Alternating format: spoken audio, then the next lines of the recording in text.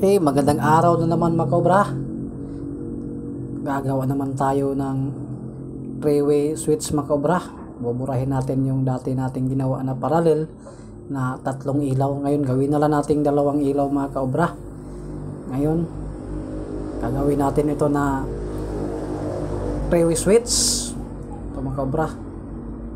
Ating schematic diagram sa ating three-way switch. Napakadali lang mga kaobra, lalo na pag i-wiring natin ito.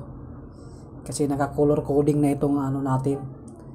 Ah, diagram natin. Yun mga kaobra.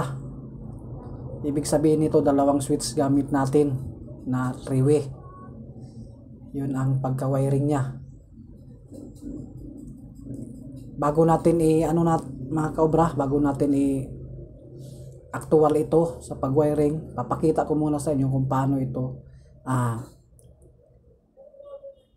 ginawa ang ating pag-drawing sa ating schematic diagram ng three-way switch.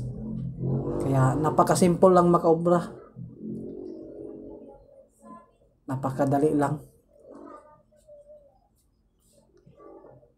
Ah, sa aking mga subscriber, maraming salamat sa inyong pag-subscribe sa akin.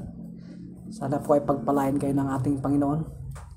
At ito naman mga kobra, ang ating title ng ating ah, schematic ngayon ay two lamps controlled at to location mga kobra.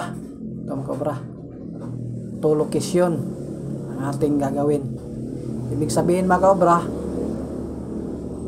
dalawang location po ang switch natin nito. Sa dati natin, gagawa natin ang isang switch yun. Yun mga yung ating ah, pag-wiring. Kaya, sana po, subscribe nyo ako. Maraming salamat sa inyong panunod sa aking video. Bless po. Yeah. Hmm.